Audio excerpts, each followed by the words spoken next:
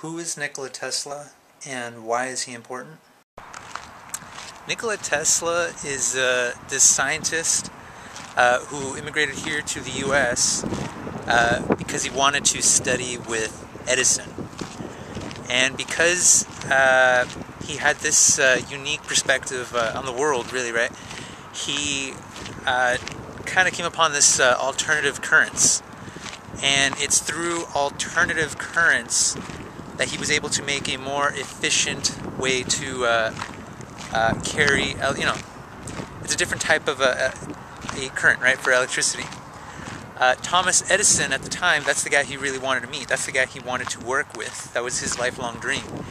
Uh, he was real famous uh, for, you know, making the light bulb and, and all that, and a bunch of other stuff. Uh, but he was really pushing direct current. It's through direct current um, that he was making, you know, his his moolah, right, his dough. Uh, and he saw Tesla as, uh, you know, there's a bunch of interpretations, but you know, like one as a threat, uh, and two as just a nutcase. He honestly, he just didn't uh, see eye to eye with him as far as the alternative currents and the direct currents. Um, he thought it was uh, just irrational. You know, he thought it couldn't work. So they, they had this whole little feud uh, their whole lives. Uh, and it was highly publicized. I mean, they, they uh, Edison was famous for, or, you know, uh, the feud was famous for uh, Edison. Um, uh, I think at one point he electrocuted a live elephant to show how dangerous alternative currents can be. Um, but yeah, that's how that's how intense Edison was. So that was um, the thing, uh, right? That was the feud. That was a, a big deal. Uh, in the scientific community, a lot of people just sided with Edison. That was uh, he was the he was the big he was the big guy, right? He was. Uh, I guess something similar would be today with uh, global warming. He would be the Al Gore, right? He's calling the shots.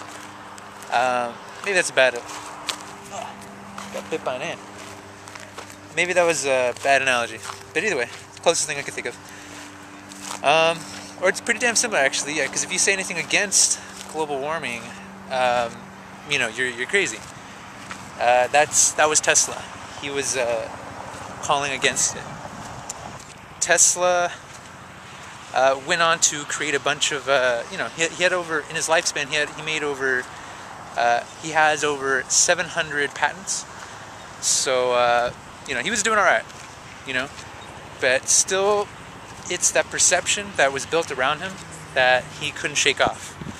Uh, similar to, let's say, I mean, you know, different apples to oranges, but, you know, there's something to compare to. Uh, Mark Zuckerberg, no matter what he does, people always look at him as an asshole because of what he did, um, or, or, at least how, how people uh, think what he did through uh, the social network, you know, the movie.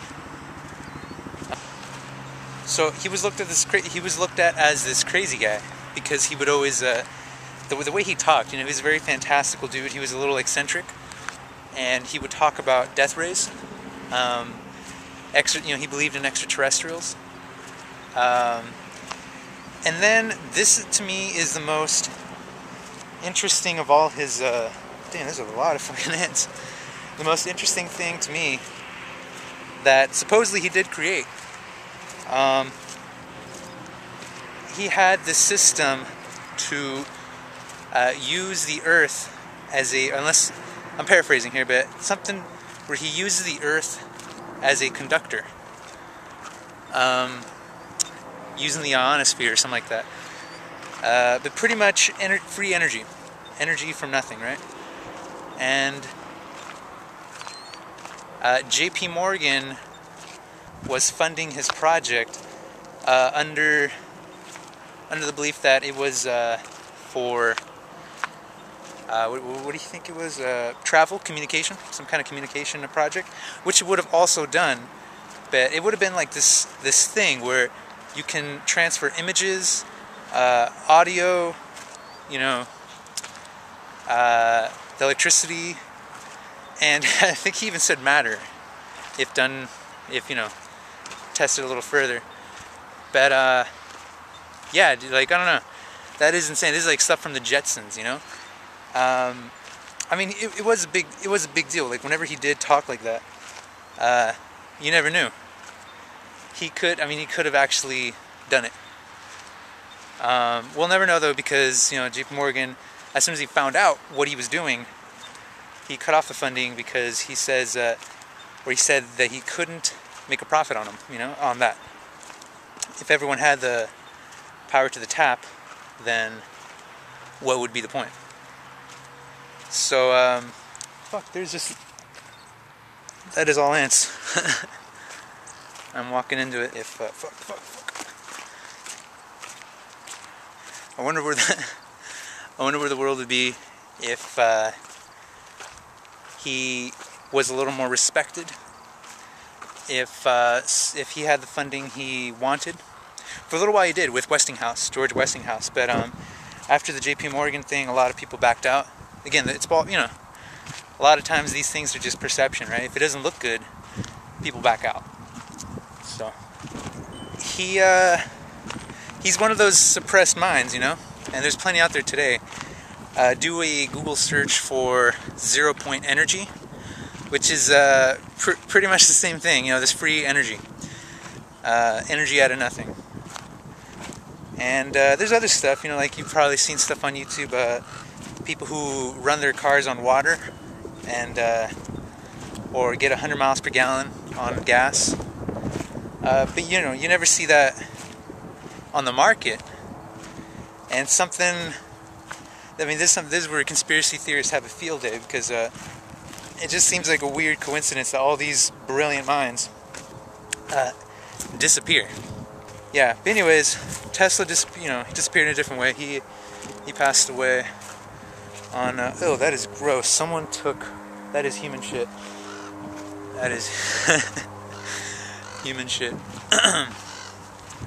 but uh yeah curious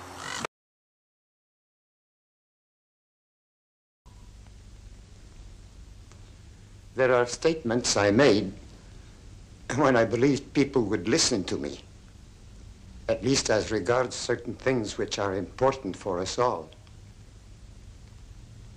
But now it makes no difference. But how come you are here at all? I mean, in my hotel room. I haven't been visited by anyone for a very long time. Which paper will you be publishing this in? As a matter of fact, I'm a freelance reporter. Mr. Tesla, you were once a very wealthy man. You worked with J.P. Morgan, didn't you? We were given a great opportunity. And what was that opportunity?